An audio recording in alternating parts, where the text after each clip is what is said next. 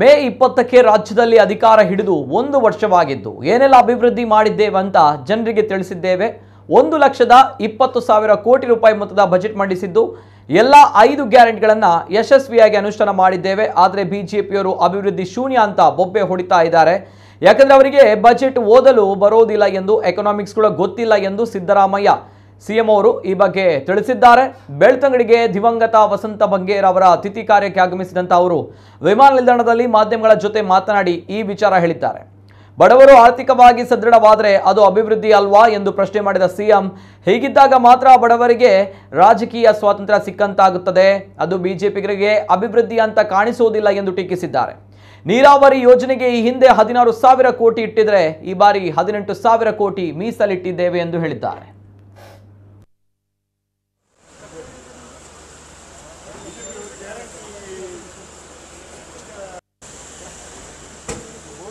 ನಮ್ಮ ಸರ್ಕಾರ ಬಂದು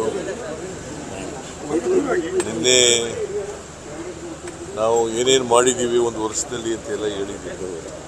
ಜನಗಳಿಗೆ ಏನು ಭರವಸೆ ಕೊಟ್ಟಿದ್ದು, ಏನೇನು ಈಡೇರಿಸಿದ್ದೀವಿ, ಮತ್ತು ಅಭಿವೃದ್ಧಿ ಕೆಲಸಗಳಿಗೆ ಏನೇನು ಮಾಡಿದ್ದೀವಿ.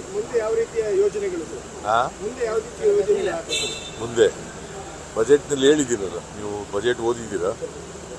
ಬಜೆಟ್ನಲ್ಲಿ ನೋಡಿ ಎಲ್ಲ ಆಪಾದನೆ ಗ್ಯಾರಂಟಿ ಮಾತ್ರ ಅಭಿವೃದ್ಧಿ ಆಗಿದೆ. ಬೇರೆ ಏನು ಅಭಿವೃದ್ಧಿ ಆಗಿಲ್ಲ ಒಂದು ವರ್ಷದಲ್ಲಿ. ಬೇರೆ ಬೇರೆ ಅಭಿವೃದ್ಧಿ ನೀವು ಹೇಳ್ತಾ ಇರೋದು ಏನೋ ಬೇರೆಯವ್ರು ಹೇಳ್ತಾ ಇರೋದು ಹೇಳ್ತಾ ಇರೋದು ನಾನು ಹೇಳಿದಲ್ಲ ಬಿಜೆಪಿ ಅವರು ಅವರು ಬಿಜೆಪಿಯವರು ಅವರು ಬಿಜೆಪಿಯವರು ಸುಳ್ಳು ಹೇಳ್ತಾರೆ.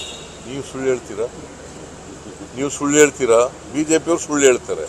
ನೀವು ಅಲ್ಲ ಅವ್ರಿಗೆ ಅವ್ರಿಗೆ ಹೇಳಿದ್ದನ್ನು ಅವ್ರು ಸುಳ್ಳು ಹೇಳ್ತಾರೆ.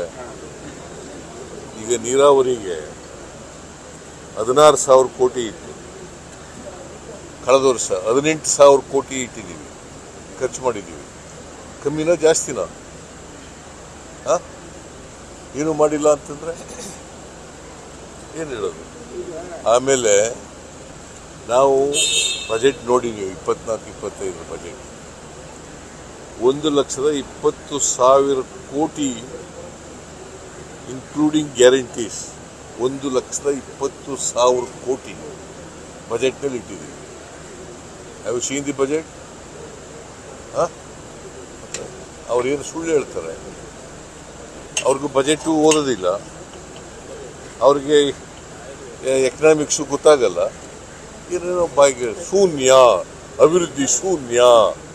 ಏನು ಆರ್ಥಿಕವಾಗಿ ಸಬಲತೆ ಕೊಡೋದು ಬಡವರಿಗೆ ಅಭಿವೃದ್ಧಿ ಅಲ್ವಾ? ಸಿ, ಅಂಬೇಡ್ಕರ್ ಏನು ಹೇಳಿದ್ರು?